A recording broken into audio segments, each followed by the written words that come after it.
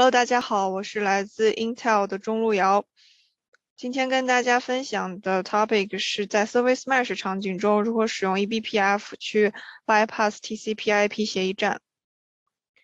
呃，我们将从以下几个方面来组织今天的内容。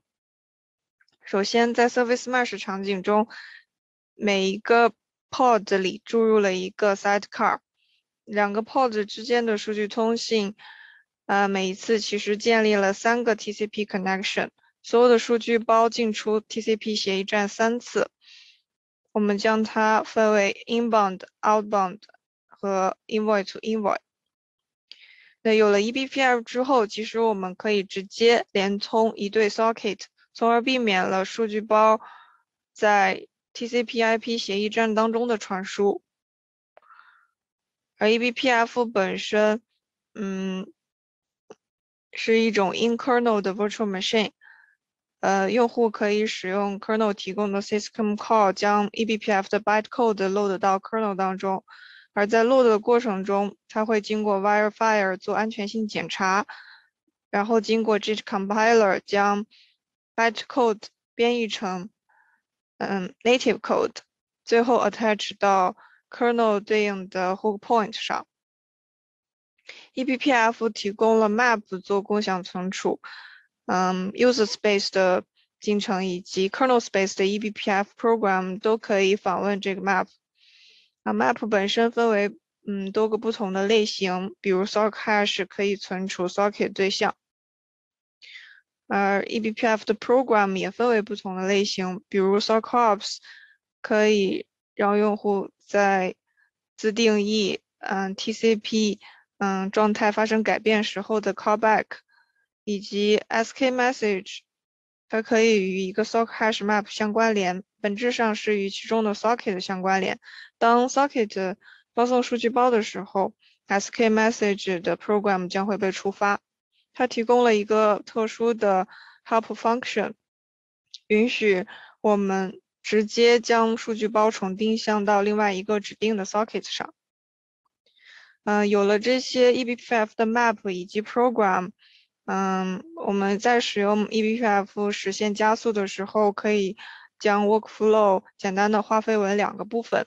第一个部分是使用 sockops 在 TCP 嗯建立连接的过程中记录一些有效的信息，填充到 map 表里。嗯，在 socket 发生数据。嗯，传送的时候，sk message 负责从 map 中获取对端的 socket，并将 packet 直接嗯重定向对端的 socket 上。嗯，具体的 TCP/IP bypass 是由三个部分的实现组成的，啊，分为 inbound、outbound 和 envoy to envoy。那从对于 inbound 来说，是 envoy 主动。嗯，向 server application 发起了连接，在这个过程中没有任何 IP table rule 生效，嗯，没有任何地址发生改变，所以我们需要记录下，嗯，socket 的四路四元组信息以及其对应的 socket，这样在 socket 发送数据的时候，基于这些信息，我们就足以找到它对端的 socket，并将数据包重定向过去。而对于 album 的嗯来说，它的不同之处是在于这个地方是有一个 IP table rule 生效，导致了原始的目的地址发生了改变，所以我们必须要记录修改前后的呃目的地址信息，并建立起一种 mapping 关系，使得 socket 在发送数据的时候能够基于这些信息找到正确的对端的 socket，并做 redirection。那对于 invoy 到 invoy 来说，本质上它和 outbound 是没有区别的。嗯，因为它的从 socket 层面来看，嗯，它都是经过了 IP table rule，嗯，改修改了它的目的地址，所以它的解决思路也是和 outbound 一样。我们将整个 solution 打包成一个 Docker image。啊，image 当中包含了我们的 eBPF 的 bytecode 以及 load function，同时我们准备了一个 YAML file，嗯，用户想要 enable 这个 feature 的时候，只需要 apply 我们的 YAML file。Kubernetes 将会根据 YAML file 的定义，在每每一个 node 上去启动一个 daemon set 的 pod。嗯，在 pod 启动的过程中，就会往 host kernel 当中，嗯，load eBPF 的 bytecode。在 load 完成之后，TCP/IP bypass 的功能就被启用了。嗯，如果用户不再需要这个功能，嗯，只需要简单的将这个嗯 pod 删除。那在 pod destroy 的过程当中，嗯，eBPF 的 program 将会从 kernel 中 kernel 中 unload。关于这个 solution，我们也做了很多 performance 的测试。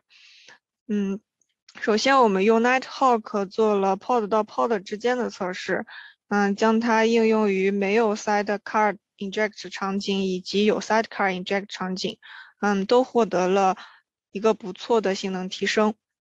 同时，为了模拟真实场景，我们也选选取了两种不同的 workload。第一种是 DSP hotel。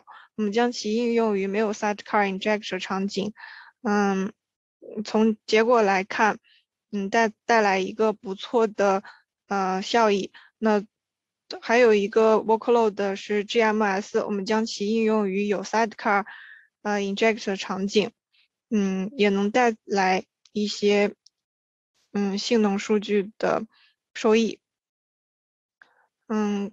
从这几个不同的 benchmark 工具和 workload 来看，嗯，不同的工具得出来的提升效果它是不一样的。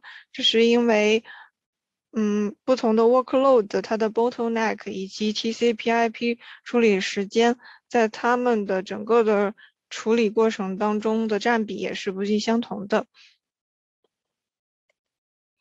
嗯，目前我们的 Docker image 和我们的 source code 都已经 public 出来了，呃，希望大家能够嗯积极试用，嗯，或者参与到我们的项目当中来，给我们提出更好的建议，让我们能够嗯把这个项目越做越好。